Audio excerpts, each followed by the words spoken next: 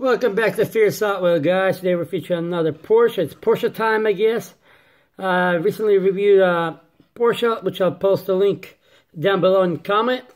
Well, anyways, this car looked a little beat up. So much use out of it, I guess.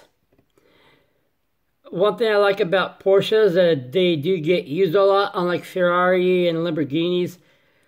Since it's high mileage uh, high maintenance costs and all that. They don't put a lot of miles, but like Porsche, Corvettes, you can put thousands and like hundreds thousands of miles on them. So they do get used. So I guess this is a resemble of it.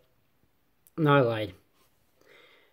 Well, a couple of years ago, I remember I found this, actually, Hot Wheel, dug up like, it was in the snow during the springtime when snow started melting off. And I found it, getting rusted, so I just picked it up. Kept it as is. Snow white, all scratched up. I had to look it up. It was actually uh, from a five pack, 2017 edition, five pack Hot Wheel Exotics.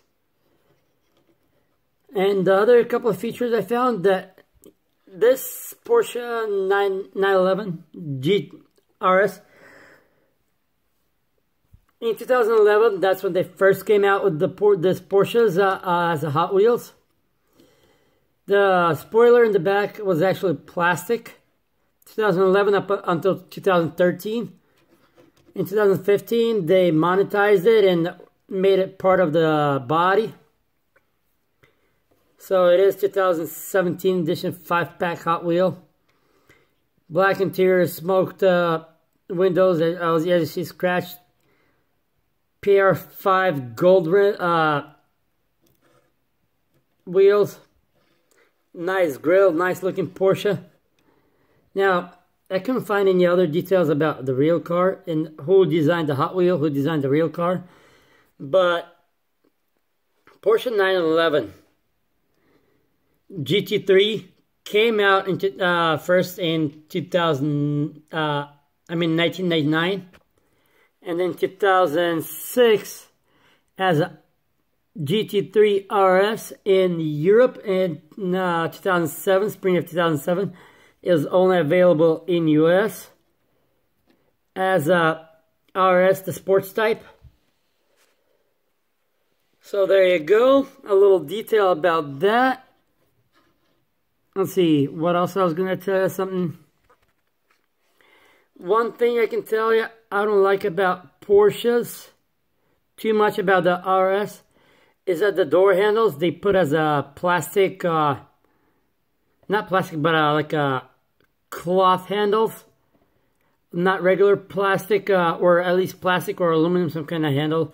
They wanted to save 0.0001 ounce because it's RS sports type and they want to make it as light as possible. So they cut edges everywhere, and one of the thing, one of the things they do is uh, cut that. Uh, in order to save weight, they do the the cloth handles, which is the big drawback for me about the Porsches, and a couple other things. But other than that, I like the Porsche GT3s. I like the Boxster. On the other hand, these ones they kind of look like uh, for rich girls uh, cars, but you know, Porsches can be fun to drive if you can afford one. Like I said, I couldn't find too much detail, so right now, as you see, it has a little rollback issue, you could say, because the it has a little bit of rust inside the axles, you could say. They're a little rusted, as, and you see, you can see right here the, from the snow when I when I found it. But anyways, thanks for watching, guys. Have a good one. Enjoy. See you next time. I guess it was one of my little treasure hunts that I found by accident. So, not too much de details. But besides being all beat up. Well,